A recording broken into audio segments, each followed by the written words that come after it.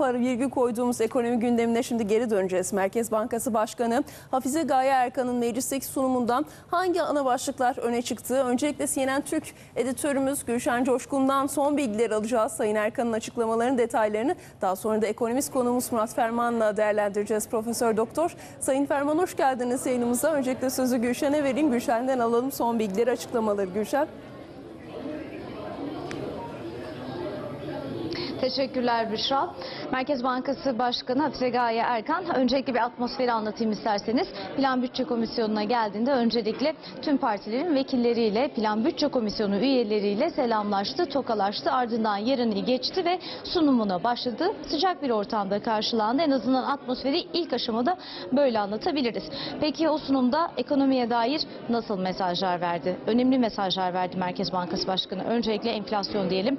Türkiye'nin e, yeni ekonomi sürecinde özellikle seyre bakıldığında ve orta vadeli programa bakıldığında ilk hedeflerden biri enflasyonu düşürmek.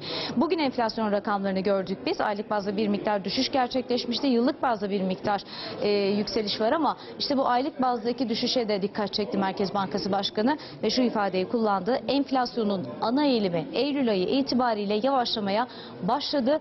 Dezenflasyon yani enflasyondaki düşüş sürecine ilişkin olarak en kısa sürede tesis edilecek dedi. Tarih de verdi, önemliydi. Daha önce de bazı mesajlar vermişti.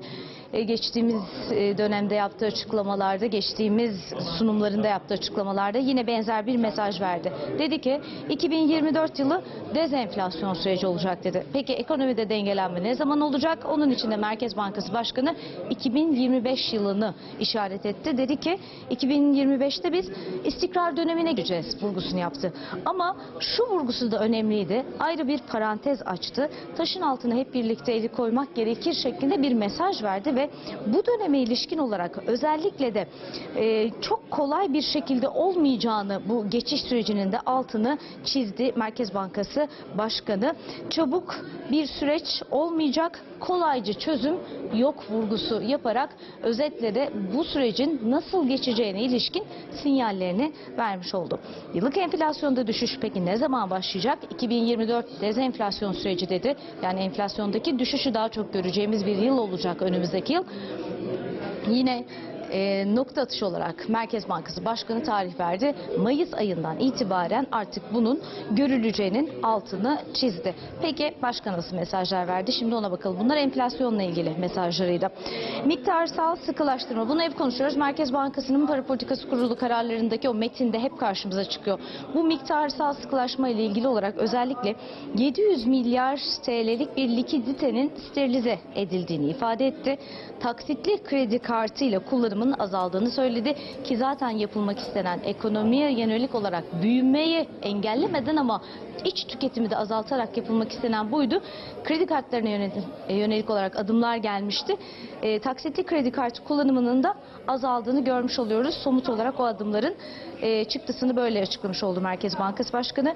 Atılan adımlarla piyasa mekanizmasının yeniden tesisi sağlandı vurgusu yaptı. Kur korumalı mevduat onu da çok konuşuyoruz. Artık özellikle TL'ye dönüş konusunda, e, TL'ye özendirme konusunda adımlar atılıyor. Merkez Bankası Başkanı dedi ki atılan adımların olumlu yansımalarını görüyoruz dedi. Bir de rakam verdi. Şöyle ki 22 Eylül itibariyle kur korumalı mevduatın bakiyesi 64 milyar TL azaldı dedi başkan. Mevduata bakıldığında TL mevduata o özendiriliyordu zaten. 465 milyar TL'de arttığını görüyoruz başkanın verdiği açıklamalardan faiz kararları. Dedi ki Merkez Bankası Başkanı biz faiz kararlarını verilere göre bakıyoruz dedi. Böyle alıyoruz dedi. Özellikle enflasyonu takip ettiklerini söyledi. Hedefi bir kez daha ifade etti. Tek haneli enflasyon, enflasyonda düşüş, faiz kararlarının miktarsal sıkılaştırma ve sadeleşme ile de birlikte daha verimli ve etkili hale geldiğini de ifade etmiş oldu. Özetle açıklamaları bu şekildeydi. En önemli flash başlıkları olarak şimdilik böyle verebiliriz. Ama Plan Bütçe Komisyonu'nda hala oradaki sunum bitti ama Merkez Bankası Başkanı orada şimdi tek tek Plan Bütçe Komisyonu'ndaki üyeler, vekiller Merkez Başkanı Merkez Bankası Başkanı'na sorularını yöneltiyor.